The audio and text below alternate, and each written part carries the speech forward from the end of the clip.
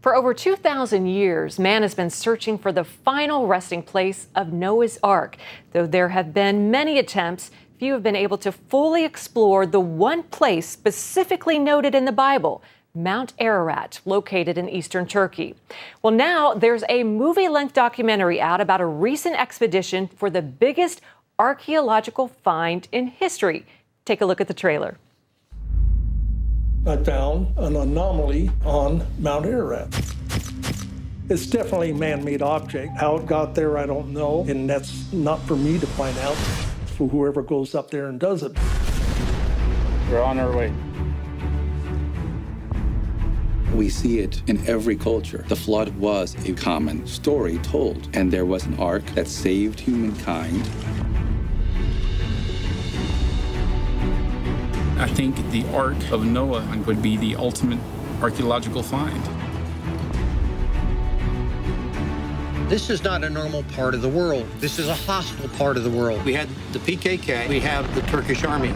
Needless to say, they don't like one another. If we don't go, we won't know. Somebody has to take up the challenge. Let's go find an ark.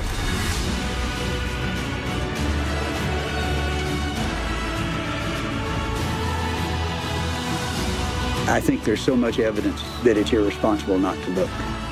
I've had my worst nights of my life on that mountain. I've frozen on that mountain. I've been bloody on that mountain. The air is much thinner.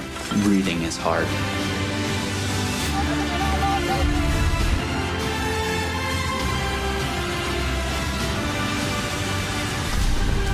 We knew we were on the brink of what could be the greatest archaeological discovery so far. We will either prove that yes, it is here, or no, it is not.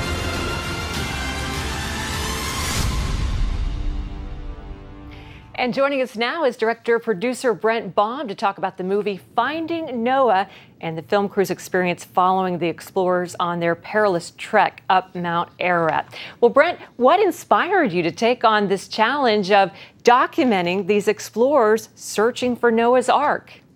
Hi, Wendy. Such a pleasure to be here. You know, it's it's uh, it's an interesting story, the making of the film itself. But you know, as a child, I grew up in Sunday school hearing about Noah's Ark, and as life goes on, you you hear all these tabloid stories. You know, they found Noah's Ark somewhere. You know, and and I always wondered, is that is that true?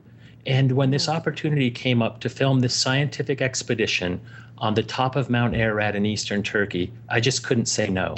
Well, the the scenery is breathtaking, and it's uh, you know you're 17,000 feet up in the air, very cold, obviously from the pictures. I mean, what was it like shooting? And you've got those, uh, I don't what do you call them, crevasses? You know, uh, very da- it looks very dangerous.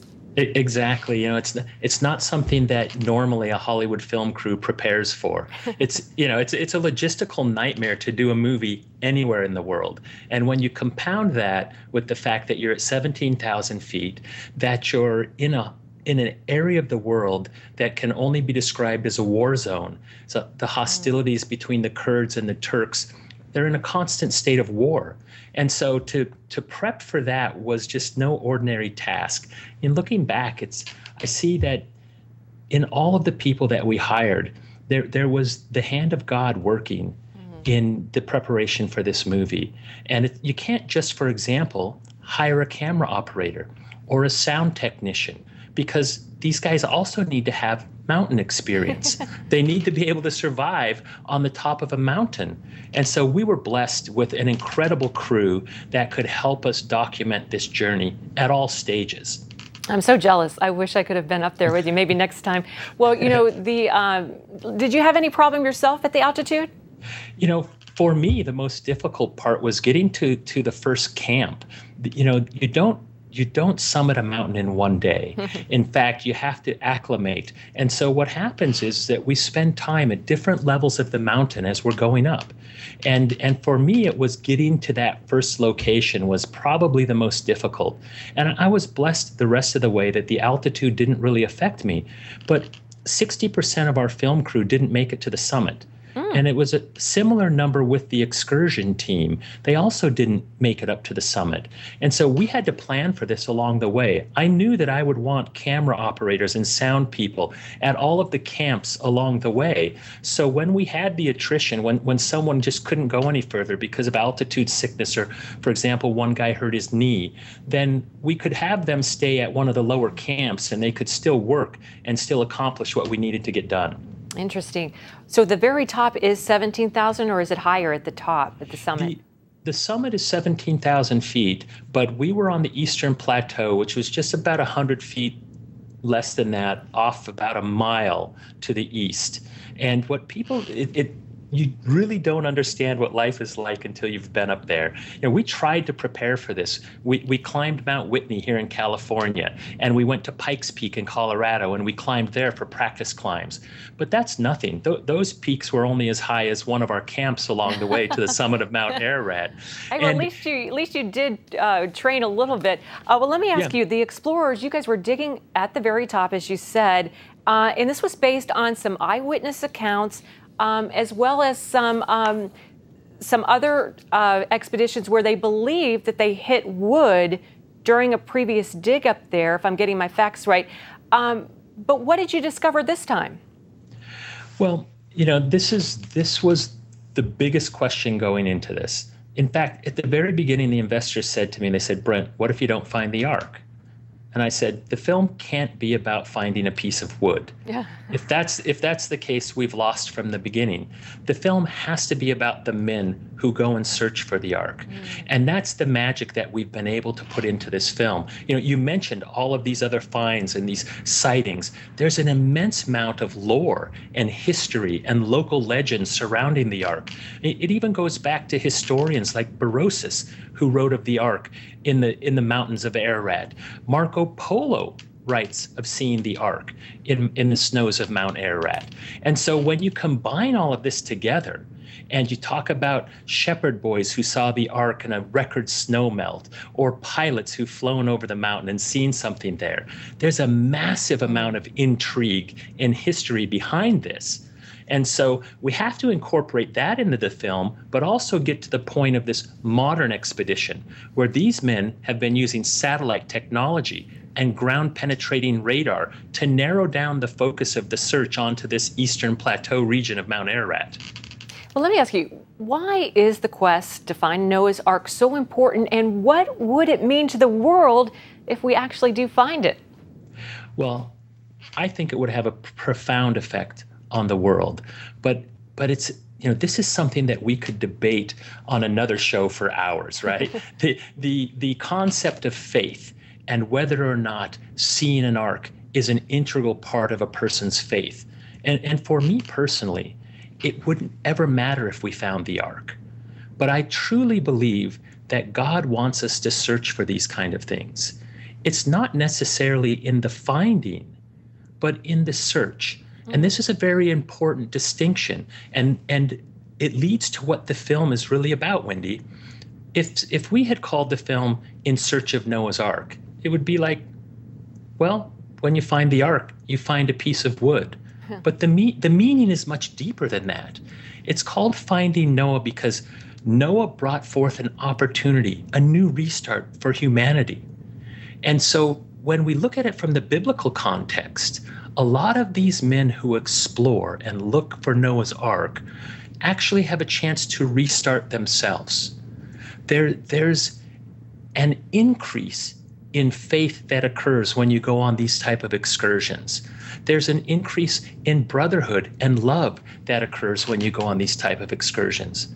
The beautiful thing for me and what I want audiences across America to see is into the hearts of these very courageous men who risk their life in a very, very dangerous part of the world and on top of that mountain because of their faith. Mm-hmm. And when you get a glimpse into the hearts of these men, you'll understand why we call it Finding Noah. I love what you said. It's not in the finding, but it's in the searching. That's very profound. Well, the documentary airs in theaters for one night only, October 8th. Uh, why one night only? Well, we, we were fortunate actually. Uh, it's the documentary is being put out by Fathom Events, and it's kind of a new strategy.